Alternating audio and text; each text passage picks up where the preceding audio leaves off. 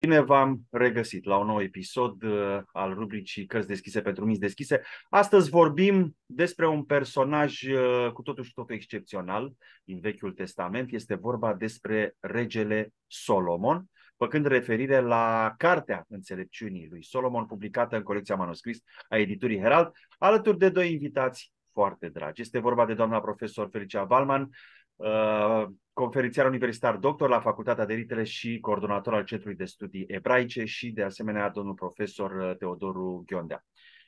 Doamna profesor Valman, uh, aș începe discuția noastră cu o întrebare, spun eu, uh, esențială, fundamentală, așa cum am început de altfel și uh, clipul când vorbeam noi despre Enoch, pentru că, iată, Enoch și Solomon, două personaje extrem de importante ale Vechiului Testament. Cine a fost regele Solomon. Da, într-adevăr, regele Solomon, de fapt, este undeva la întâlnirea între realitatea istorică și mit. Pentru că, sigur, a existat, a fost fiul regelui David, fiul care l-a moștenit pe regele David, n-a fost singurul fiu al lui David, dar a fost cel care l-a moștenit, cel care, de fapt, a construit templul în care tablele legii, chivotul legii uh, pe care David uh, l-a uh, folosit ca talisman, ne spune Biblia, nu așa, când câte ori mergea în bătălie, mergea cu chivotul după el, pentru că era un talisman, avea calități magice și uh, proteja armata, îl proteja pe el și îi aducea victorie. Uh, dar, cum știm din uh, textul biblic, Uh, regele David, uh, care a fost iubit de Dumnezeu și care a făcut foarte multe uh, în, pentru slava lui Dumnezeu, în respectarea poruncilor lui Dumnezeu, a încălcat una, după cum știm, și pentru a, pentru a reuși să obțină pe Baceva, l-a trimis pe bărbatul ei la război și la moarte, astfel încât, până la urmă, Dumnezeu l-a pedepsit, ne dându-i posibilitatea de a face el templul. Așa că i-a revenit lui Solomon uh, posibilitatea și dreptul și calitatea de a face, de a construi primul uh, templu pentru adăpostirea chivotului legii și pentru, evident, pentru venerarea lui Dumnezeu. Și aici avem, uh, într-adevăr, uh, partea istorică unde știm că i-a fost practic ultimul rege, pentru că după el uh, regatul s-a împărțit în două, în Iudea și Israel, și apoi s-a ales praful, nu așa, în istorie de ambele. Deci a fost cumva ultimul mare uh, rege al Israelului și al evreilor, al poporului evreu. Uh, iar din acest punct de vedere, este uh, într-adevăr important pentru că uh, Templul lui Solomon, dincolo de uh, partea istorică și dincolo de semnificația pentru iudaism, este important și în masonerie, este important în uh, tradiția islamică, este important în tradiția creștină, deci este într-adevăr cu o valoare universală și foarte diversă. Acum, partea de mit uh, este că uh, regele Solomon a devenit cumva personaj uh, Uh, reprezentativ pentru ocultism. Toată lumea vorbește, nu așa, despre calitățile lui uh, de magician, calitățile lui de uh, a reuși lucruri deosebite, nu numai prin înțelepciunea care se pare că îl caracteriza cu adevărat, dar și prin posibilitatea lui de a intra în partea de mistică, în partea de ezoterism, în partea de magie religioasă, prin care a făcut, se pare, o serie întreagă de, uh, să le spunem, minuni, lucruri ieșite din comun. Deci avem un personaj care străbate și istoria și legenda și asta îl face uh, interesant, important până în ziua de azi. De altfel, apropo de templu și templul lui Solomon, templul este un, uh, un simbol extrem de important în epoca acelor, acelor vremuri. Domnule profesor Ghiondea, de ce este considerat Solomon cel mai înțelept rege din toate timpurile și cum este el considerat în cadrul tradiției abrahamice. Doamna profesor a spus foarte bine. Până la urmă, Solomon leagă toate cele trei tradiții abrahamice. Este prezent pentru că este un personaj cu totul special. Și de ce este special? Pentru că, într-un fel sau altul, și în tradiția ebraică, și în tradiția creștină, dar și mai ales în tradiția e, islamică, el este văzut ca un personaj special, în primul rând, pentru faptul că, așa cum spune Ibn Arabi, în cartea lui celebră, Fursus Arhicam sau Înțelepciunea Profeților, sau mă rog, depinde cum, cum o numim, el este un profet purtător al unui verb, al unei înțelepciuni a tot milostive. Ceea ce înseamnă că Dumnezeu, în tradiția islamică, având primele două nume, dacă vreți, și calități extrem de importante prin care este și invocat în continuu, Ar-Rahman și Ar-Rahim, adică cel a tot milostiv, cel a toate milostiv, Suleiman este, Suleiman este văzut, Suleiman în tradiția, în tradiția islamică, este văzut ca reprezentând tocmai înțelepciunea divină care se manifestă prin milă. Prin milă. Noi știm din legea veche că așa cum, de exemplu, arborele sefirotic are două coloane principale, cea a milei și cea, cea a misericordiei și cea a rigorii, uh, regele Solomon se situează cumva uh, între cele două cu o preponderență și o să vedem imediat pe care i-o dă uh, Shechina. Malcut, dacă tot am vorbit de el. Pentru că noi știm că în istoria uh, vieții regelui Solomon apare regina din Saba. Acum, regina din Saba, Saba, uh, regatul reginei, se spune că era undeva uh, în zona Etiopiei și pe partea cealaltă a Mării, nu în, în zona Yemenului. Ori Yemenul este important prin nume care înseamnă partea dreaptă. Și partea dreaptă întotdeauna este benefică. În toată tradiția, în toate tradițiile semitice. Uh, Ibn Arabi acordă un, uh, o importanță deosebită și nu numai el, bineînțeles, între cei 27 de profeți pentru că, pe care îi prezintă, tocmai pentru faptul că el reprezintă o, până la urmă o sinteză a înțelepciunii și a cunoașterii cu iubire. Să ne aduce aminte de cântarea cântărilor. Nu? Uh, deci cele două elemente fundamentale pe care, de care noi am mai vorbit de atâtea ori, nu? cunoaștere și iubire, sunt prezente în regele Solomon. Se spune că a scris peste 3000 de, cum vreți să le numiți, formulări. Eu le-aș numi formulări sapiențiale, pentru că e foarte greu de, de stabilit și mai ales pentru uh, zilele noastre, cu atât mai mult. Uh, și 1008, dacă nu mă înșel, sau 1005 cânturi. Uh, înțelepciunea lui provine din înțelepciunea lui Dumnezeu. Pentru că, de exemplu, în Coran se spune foarte clar că a primit înțelepciune de la Dumnezeu. I-a cerut lui Dumnezeu înțelepciune. Și Dumnezeu a dat din înțelepciunea lui. Uh, întâmplările din viața asta, întâmplările acestea între, între mit, cum spunea doamna profesor, între mit și istorie, întotdeauna sunt foarte semnificative pentru că ele sunt exemplare. Sunt niște întâmplări care au importanță. Nu trebuie să uităm niciodată că toată tradiția abrahamică pleacă de la tradiția ebraică. Nu trebuie să uităm nicio clipă lucrul ăsta. Și prin urmare, istoria nu este o istorie profană, cum am mai spus de atâtea ori.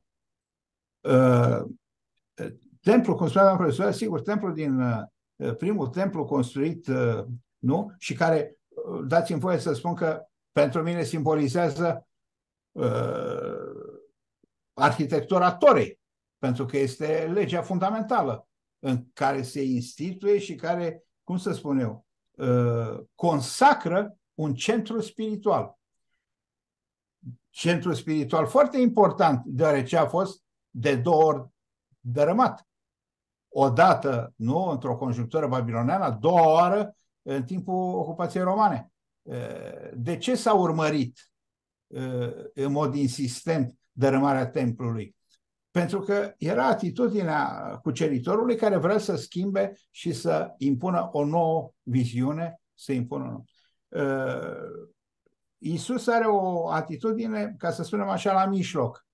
De ce? Pentru că el se și află între iudaism și islam, ca să spun așa, și într-un fel mediază între cele două, introducând aspectul acesta al iubirii divine. Uh, regina din Saba, cum spuneam, este extrem de importantă și nu trebuie să uităm ceva. Se spune în tradiția bisericii copte că Solomon a avut un, un copil cu regina din Saba. Menelik I, care se pare că el a primit din Israel, în situațiile uh, dificile prin care a trecut și care nu sunt singure, sunt foarte multe prin care a trecut poporul evreu, nu? a primit chivotul legii.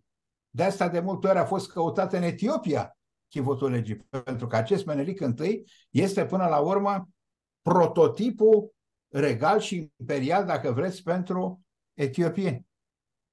Uh, deci, uh, legat de de, de, dintr-un punct de vedere esoteric acum, legat de tradiție, de, de, de, de măduva tradiție, de esența tradiției abrahamice, sigur că este foarte important. Uh, din moment ce rămâne ca uh, înțelepciune, ca, ca manifestarea înțelepciunii într-o conjunctură de atot milostivire, de misericordie, este un lucru special. Pe lângă asta, perechea aceasta cu Bilchis, cum se numește în, în, în tradiția ebraică, nu? Regina din Regina Saba. Saba. Da, da, da. În tradiția etiopiană se numește Macheda, în fine, are mai multe denumiri. Uh, până la urmă simbolizează tocmai ceea ce spuneam noi, această, această unire între cunoaștere și iubire. Mai mult decât atât. Din perspectiva iudaică, și sper că e de acord doamna profesoară cu mine, reprezintă relația între Cheter și Malcut, adică acoperă toată zona, hai să spunem, hieroenergetică divină.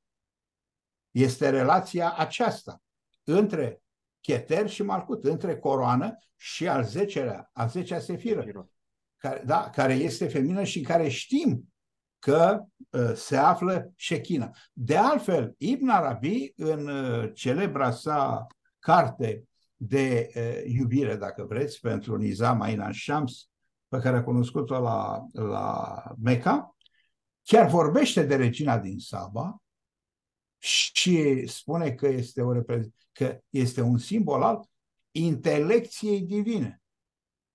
Ceea ce înseamnă că este apropiată, este afină, cum, cum s-ar spune, cu regele Solomon. Sunt lucruri importante astea, pentru că vedeți, întotdeauna prezența feminină uh, reprezintă până la urmă această coborâre a lui Dumnezeu către creație, manifestându-se. Și nu trebuie să uităm cum, cum apare de altfel. Regina din Saba îl vizitează pe Solomon și au o discuție și îi cere lui Solomon, uh, mă rog, îl întreabă o serie de lucruri iar Solomon nu spune tot.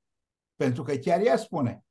Din ceea ce mi-a spus, din tot ceea ce el mi-a spus, mi-a spus foarte puțin față de ceea ce știe. Și să vă citesc numai un exemplu. Uitați ce spune ce se spune în, în uh, Imn Arabi, în cartea pe care spune despre Solomon. Capitolul despre Solomon, cum se termină, ca să vedeți ce legat este de o taină profundă. Spune așa, dacă expunem stațiunea inițiatică a lui Suleiman complet, vei vedea un lucru a cărui descoperire te va umple de spaimă. Majoritatea cunoscătorilor acestei căi ignoră realizarea și treapta sa, nivelul său. Cazul său nu este cel pe care ei îl presupun. Deci, plin de taină, aș spune că ați făcut o asociere cu Enoch. Aș spune că tot ca Enoch, ă, ă, taina nu este un mister, nu este un secret.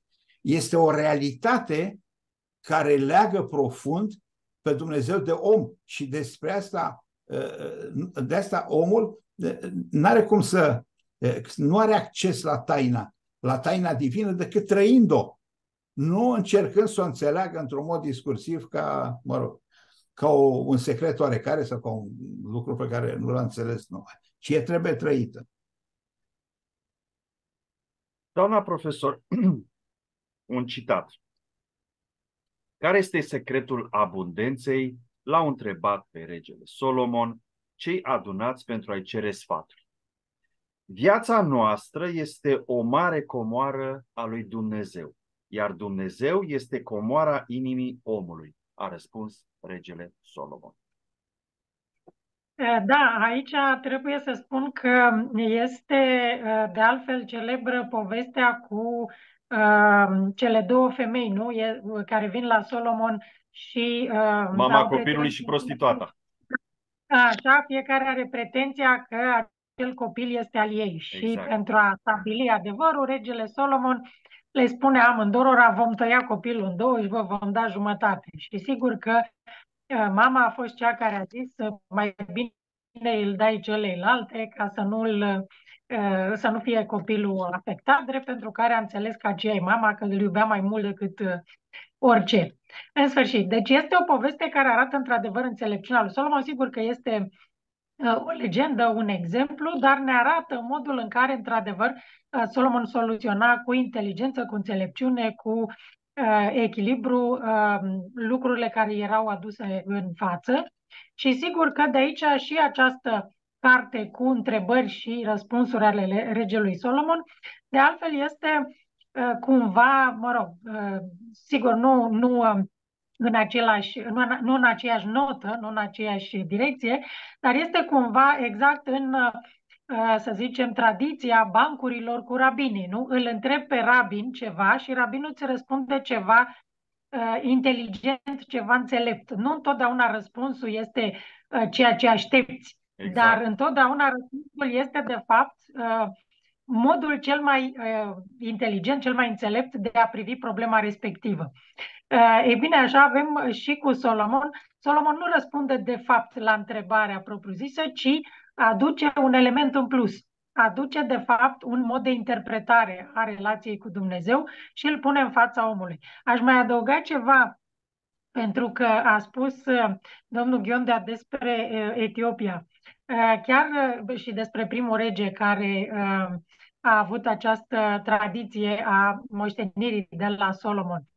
Trebuie să vă aduc aminte că ultimul rege al Etiopiei, Haile Selassie, care a fost detronat în 1965, avea ca titlu oficial uh, rege al Etiopiei leu al Iudeei. Deci până în 1965 regii Etiopiei se numeau lei a Iudeei, da? Pentru că au păstrat această tradiție. Evident că votul legii nu e în Etiopia, nu e la ei, dar tradiția aceasta a afiliațiunii direct de la Solomon s-a păstrat până la 1965. Da? Deci este într-adevăr un uh, element care ne arată cât de important a fost această uh, idee în tradiția etiopiană. Uh, deci, ca să mă întorc la, la citate și de altfel la discuția noastră anterioară, uh, sunt o serie întreagă de uh, legende pe lângă ceea ce găsim în Cartea Înțelepciunii lui Solomon, care până la urmă este de fapt chiar o carte despre înțelepciune, da? despre beneficiile, natura și rolul ei în istoria Israelului antic. Dar dincolo de asta avem o serie întreagă de alte legende suplimentare care vorbesc în aceeași uh, idee despre uh, modul în care el soluționa problemele uh, supușilor lui și nu numai. Iată, exemplu cu regina din Saba care vine să-i ceară sfatul, ne arată că în epoca respectivă era respectat de toată lumea și uh, mulți veneau să-i ceară sfatul. Și aici găsim o paralelă interesantă cu lumea rabinică ulterioară, uh, pentru că și lumea rabinică, după expulzare, după diaspora, după, după anul 70, după ce romanii îi îndepărtează pe evrei din țara lor, uh, de fapt, tradiția rabinică pe asta se bazează pe întrebări, pe interpretări, pe uh, modul în care uh, fiecare problemă de viață este uh, transformată prin intermediul Torei, prin intermediul textului sacru, uh, care răspunde, dacă știi să-l citești, la toate întrebările uh, pe care le poate avea cineva. Uh, și atunci avem, într-adevăr, în uh, Cartea Înțelepciunii lui Solomon, o serie de uh, elemente care, într-adevăr, sunt valabile și astăzi, pentru că răspund Uh, dincolo de timp și spațiu, răspund unor probleme de viață uh, cu uh, un mod de gândire, nu neapărat cu un sfat concret ce trebuie să faci, ci cum să privești problema. Și asta e, de fapt, cel mai important lucru. Domnule profesor, un, hai să spunem un paradox. Și poate reușim acum să ridicăm așa vălul de, de ceață. Uh, Să spunem că Solomon, un uh, rege plăcut lui Dumnezeu, s-a rugat la Dumnezeu, uh, să aibă înțelepciune ca să conducă regatul unit al Israelului uh, și a primit și o viață îndelungată, totuși până la urmă a domnit 40 de ani pentru perioada aia, era o, o perioadă foarte lungă. Deci a primit de toate. Și cu toate astea, textul biblic îl critică pe Solomon pentru îndepărtarea de Dumnezeu.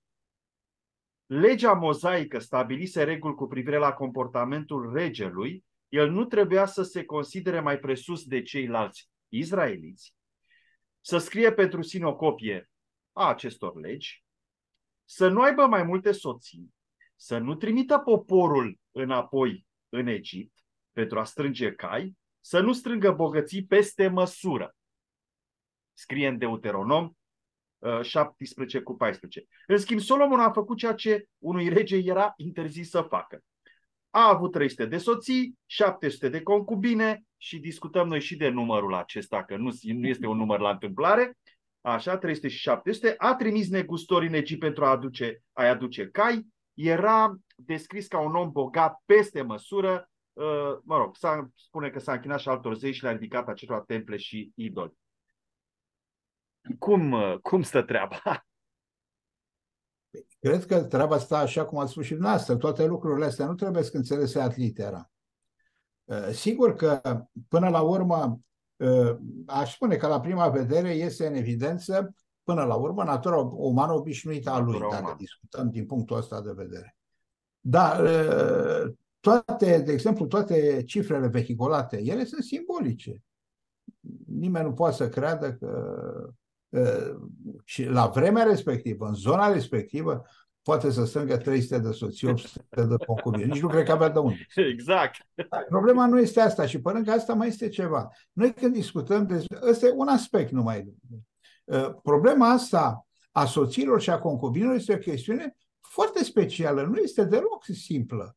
Aici nu este vorba de o căsătorie obișnuită. Aici este vorba de alianțe care se fac între triburi, alianțe care se fac între diferite facțiuni ale aceleași zone, între puterile. Deci este o garanție căsătoria. O parte din căsătoriile astea făcute din rațiuni politice nici nu se consumau. Nici nu se cunoșteau până la urmă cei doi. Uh, erau niște garanții, uh, nu, și astăzi să cer garanții. Și astăzi să cer garanții, deși Niciodată nu s-au încălcat tratatele mai, mai apitir ca astăzi. Deși sunt garanții și semnate și congrese și să încalcă mult mai mult decât s-a încălcat la vremea respectivă. Uh, eu cred că mai este vorba și de altceva. Uh, este posibil ca să fie sfârșitul funcțiunii lui, lui Solomon. Sfârșitul funcțiunii lui Solomon. Și sigur că mă duce gândul și la altceva. Dacă este în glorie, de exemplu, să spune despre el că Dumnezeu i-a dat tot din ceea ce este pe pământ. Iar reginei din Saba i-a dat ceva din ceea ce este pe pământ. Ca să vedeți raportul între ce spuneam, între, între Cheter și Malcut. Toate lucrurile astea reprezintă un fel de simbol uriaș al preromului spiritual. Uh, pentru că știm, uh, pe lângă limba păsărilor, avea putere asupra vânturilor, asupra ginilor, asupra spiritelor. Uh, deci o putere extraordinară.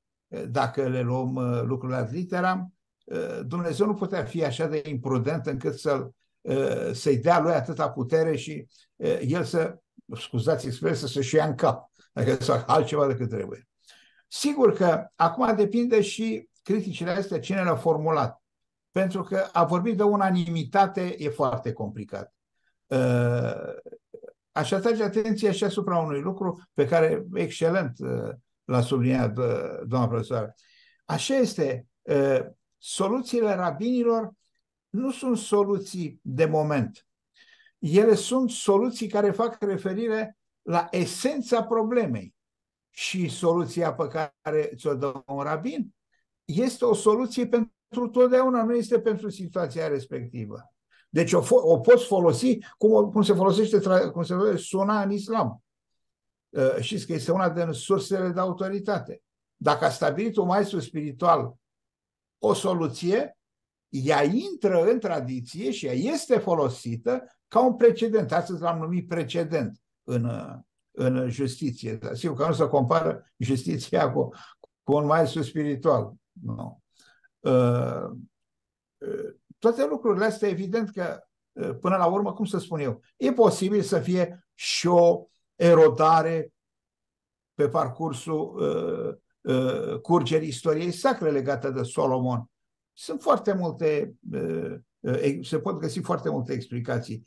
Dar un lucru este cert că uh, eu cred până la urmă că ni se atrage atenția că oricât de mult Dumnezeu iubește pe Solomon și pe oricine ar iubi foarte mult, există o natură patibilă în el peste care nu poate trece persoana respectivă.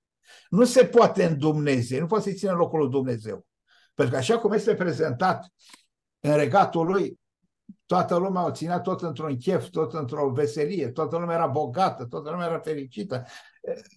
Are un aspect paradisiac asta. Paradisul nu coboară așa repede pe pământ. El este și pe pământ, există și un, și un paradis terestre, dar nu e chiar așa de ușor de găsit și nu în masă, adică nu așa democratic. Nu se. Și atunci, eu bănuiesc că este vorba și de o atragere a atenției asupra relației, relației dintre stăpân și servitorii. Ea nu trebuie uitată niciodată. Solomon sau Shlomo, dacă nu, mi se pare că așa se spune da. ebraic. Shlomo. Relația lui cu Dumnezeu este relație între, între el, servitor, și stăpânul absolut. Asta nu trebuie niciodată uitată. Și am să vă spun de ce. Și foarte bine atrage atenția uh, Ibn Arabi. Când vorbește de Solomon, uh, el amintește de un, uh, un verset celebru, de altfel, Dumnezeu este primul și ultimul, uh, cel interior și cel exterior și comentează referitor la, Sol, la Solomon. Nu trebuie uitat că primul este Dumnezeu, ultimul de fapt este Solomon. Cel interior, care este esențial, nu? Incondiționat și așa mai departe, absolut, este Dumnezeu, Solima, Solomon este exteriorul.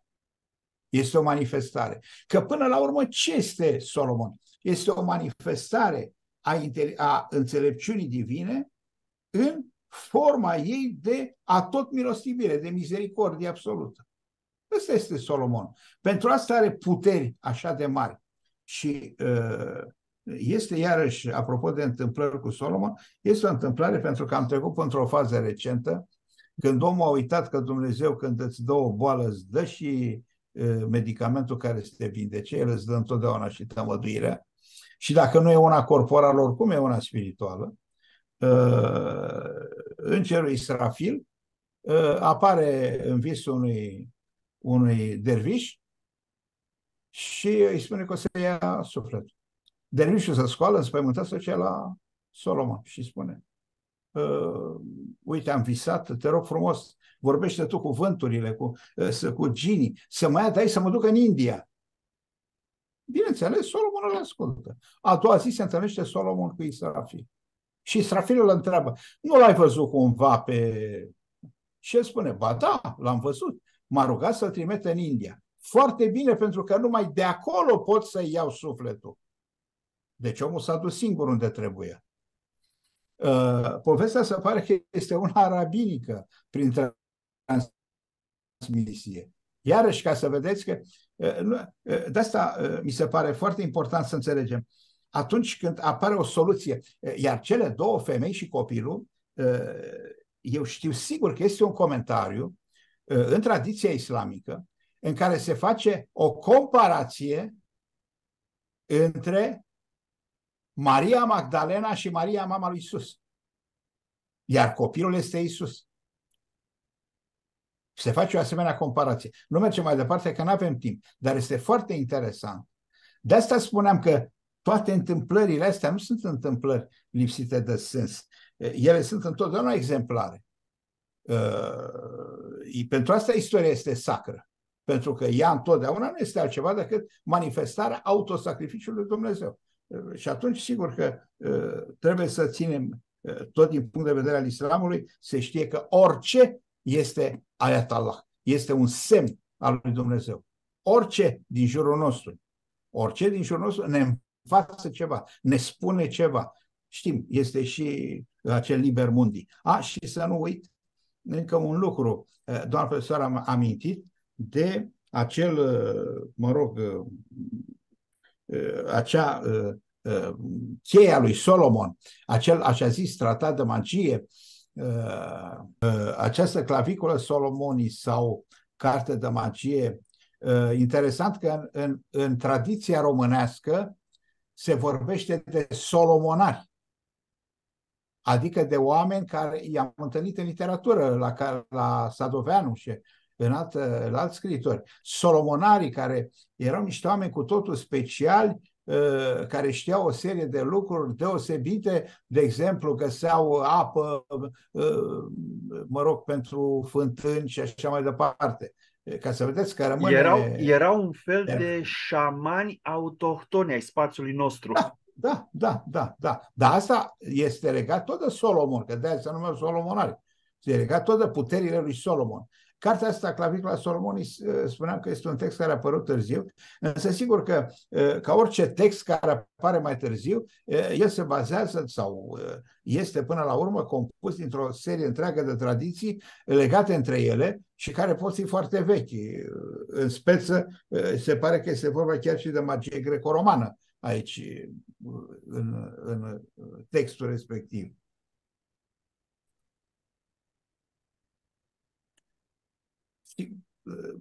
S-a mai vorbit despre magia, uh, mă rog, uh, rabinică, despre magia în, în tradiția ebraică. Eu cred că ar trebui să facem întotdeauna o precizare. Magia în general, magia așa cum este ea înțeleasă din secolul XIX încoace, să fim foarte lămuriți. Nu mai este vorba de niciun șamanism. Este vorba de o întoarcere pe dos. Este o acțiune periculoasă și negativă, ca să fim foarte clari. Uh, și avem o întreagă civilizație care a sombrat, cum spune francezul, în, în, în magie. Cea egipteană. Cea egipteană uh, a decăzut și a devenit, din spiritualitate, a devenit un fel de quasi-spiritualitate uh, magică. Foarte mult pe magie. Uh, asta știu de la uh, René Guénon din, din corespondență, care refuza să fie fotografiat din rațiuni de genul acesta. Și știa ce vorbește că era acolo. Știa ce vorbește. Deci, de asta spun că trebuie uh, rabinii, la rabini se vorbește și mi-aduc aminte și de o, un studiu al lui Gershom Scholem, extraordinarul specialist, dacă îmi permite aș spune și unicul la, la nivelul acela extraordinar, care vorbește de așa zisa reîncarnare pe care o amintesc o serie de specialiști. Și el explică foarte clar că nu este vorba de reîncarnare și că acel dublu care poate să apară nu este o reîncarnare a persoanei. Face, face precizările necesare dincolo de orice dubiu. De ce? Pentru că se vorbește de așa ceva. Dar e o chestiune de cum o înțelegi, ca și în cazul tradiției, cum îi zice, hinduse.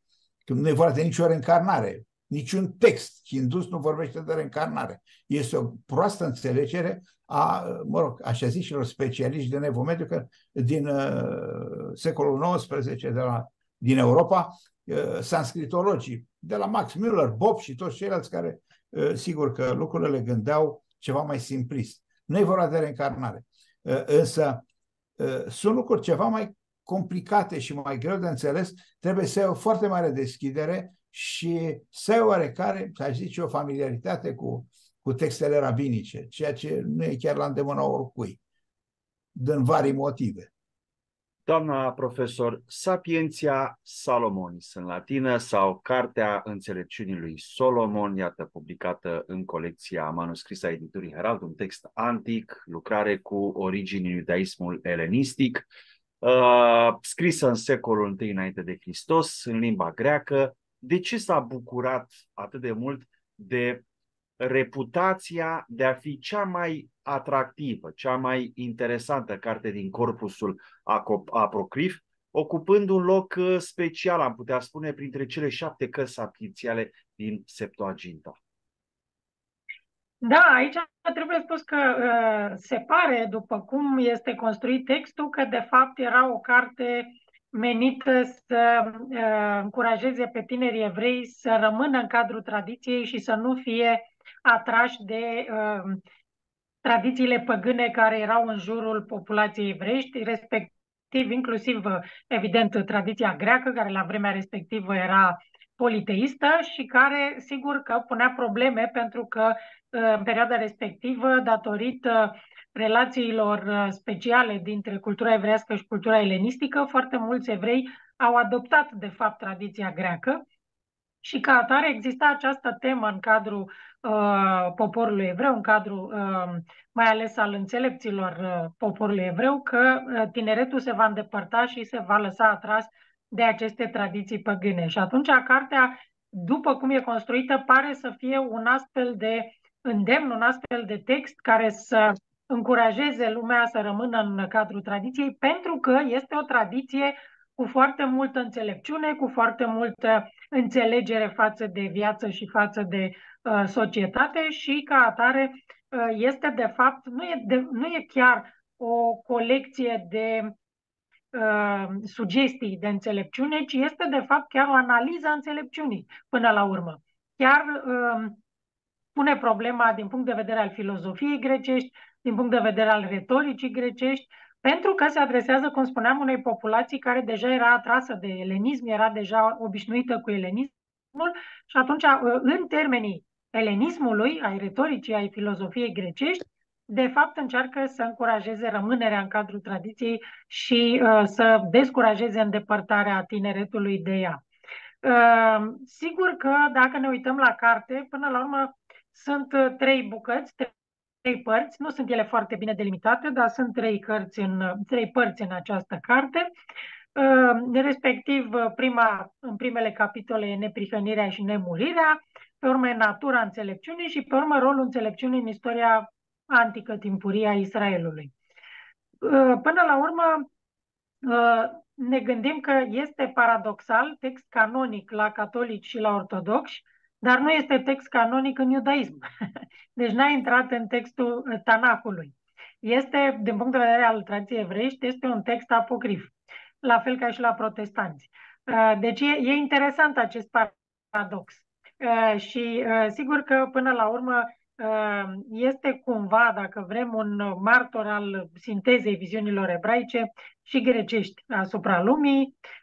Este cumva o formă de urmărire a dezvoltării credințelor evreiești în viața de după moarte, din nou, cum spunea și domnul Ghiondea, nu de reîncarnare, ci viața de după moarte, și până la urmă natura enciclopedică a înțelepciunii și înțelepciunea ca personificare, ca agent al lui Dumnezeu. Nu e așa că, până la urmă, înțelepciunea, cum spunea și domnul Ghiondea, vine de la Dumnezeu. Te naști cu ea, nu e o chestie pe care poți, poți să acumulezi uh, inteligență, poți să acumulezi cunoștințe, dar înțelepciunea te naști cu ea sau nu. Aia nu se acumulează și nu se uh, dezvoltă, nu se construiește prin efort, ci te naști cu ea sau nu. E este nativă. un cadou.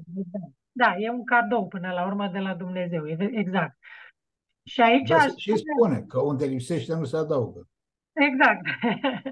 Uh, și aici aș mai spune ceva, că este interesant, e adevărat, vorbeam mai devreme, adică vorbeați mai devreme, de uh, cele 300 de soții și cele 700 de concubine ale lui Solomon. Dacă scoatem sutele, până la urmă rămân 3 și 7, da. care sunt numere magice în toate tradițiile și mai ales în tradiția exact. evrească și mai ales în forma ei cabalistică, unde șapte sunt nivelurile de jos, că tot vorbea domnul Ghiondea, de la Malcut în sus, primele șapte nivele, pentru că omul când încearcă să urce către Dumnezeu, o ia de jos în sus, evident, Dumnezeu a emanat de sus în jos. Iar primele șapte sunt accesibile omului, iar ultimele trei sunt doar prin grație divină. Nu ajunge omul la ele decât dacă Dumnezeu prin grație le acordă.